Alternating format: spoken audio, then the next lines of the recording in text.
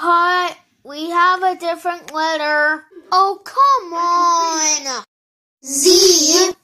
Oh, I'm just took away. I just squashed on O. Sorry. It's okay.